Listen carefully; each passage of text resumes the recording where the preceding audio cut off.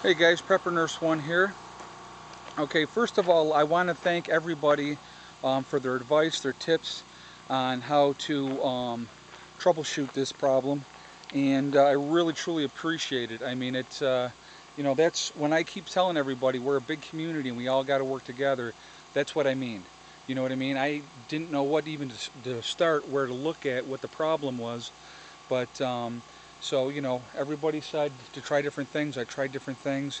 And um, what I'm going to show you was what, what was going on as I'm checking all the wires, all right, I was checking the voltage on the panels and I'm getting like, um, even though it says uh, 37.5 optimal, um, I was getting right about uh, 33 and a half um, per panel.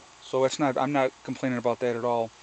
But so anyway, so what I noticed was this wire here, okay, was the in between was between one of these wires and it was getting pulled on because this is obviously heavier and it was pulling on it and what happened was when I got them apart and readjusted this now all of a sudden I'm getting power and I think what it was was um, it was just the uh, the pressure of the weight in between that wire was causing the problem and that's why it was causing it to short out so that I was not getting um, a charge with my uh, batteries here. So let me uh, actually I'll turn this on a second.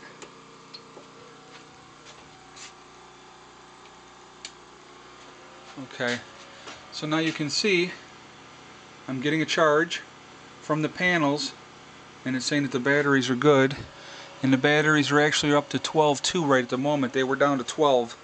So um, really happy to uh, find out what was going on and uh, like I said it was uh, it was a matter just like what you guys said was troubleshooting.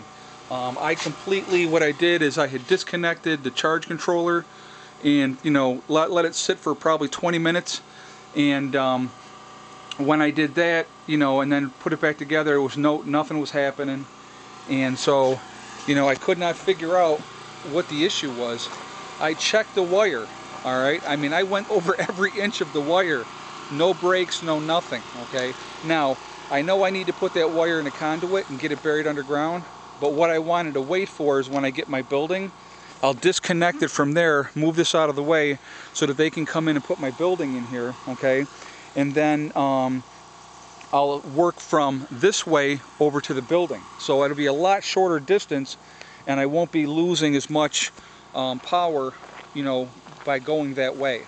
So um, I'm actually really, really happy um, that I figured this out because like I said, I am no expert at anything. And again, thank you all so, so much for your help. Um, we figured it out, and thank goodness the charge controller wasn't bad because I really didn't want to have to pay out more money for another charge controller. Um, you know, so we're good, uh, back up and running. And uh, like I said, once again, guys, I really, truly appreciate all the help. Um, and that's again, like I've said a million, million times, that's what part of being a community is. We, even though we are all living in different parts of the country and world, okay? We are still one big community. So um, this is awesome. Um, I appreciate everything believe me I do because you know we all have to work in this together.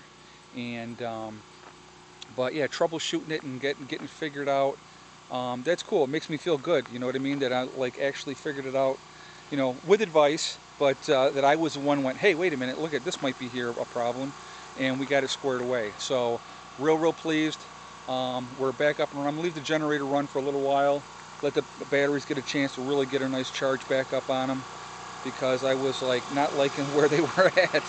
Um, and so, but it'll all come together, you know. But again, thank you so much. Um, today is Sunday, and I will talk to you guys later. All right, Prepper Nurse